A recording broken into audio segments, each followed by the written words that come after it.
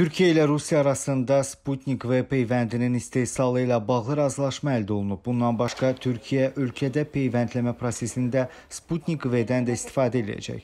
Bu barədə açıqlamanı Türkiyənin Səhiyyə naziri Fəxrəddin Qoca etdi. Bildiğiniz gibi ülkemizde iki aşı kullanıma girdi. Üçüncü olarak ise Sputnik aşısının acil kullanım onayı için son aşamaya gelindi ve aşı tedariki için bir anlaşma da yapıldı.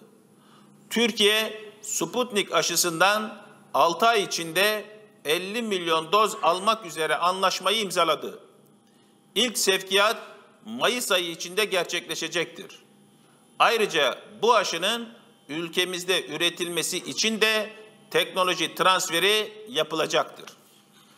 Haziran ayı ile birlikte BioNTech aşısının da teslim alınan miktarı 30 milyon dozu geçmiş olacak. Bugün yaptığımız bilim kurulu toplantısında aşıyı geliştiren Uğur Şahin hocamızın da görüşünü alarak BioNTech aşısının iki dozunun uygulanması arasındaki sürenin 6-8 hafta olarak uygulanmasına karar verilmiştir. Fəxrəddin Qoca İstanbulda koronavirusun Hindistan mutasiyasının da yayılmağa başladığını bildirdi.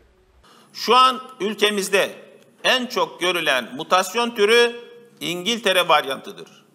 Bunun yanında Brezilya ve Güney Afrika varyantları da görülmüştü. Son olarak İstanbul'da 5 vatandaşımızda Hindistan varyantı da gözlendi.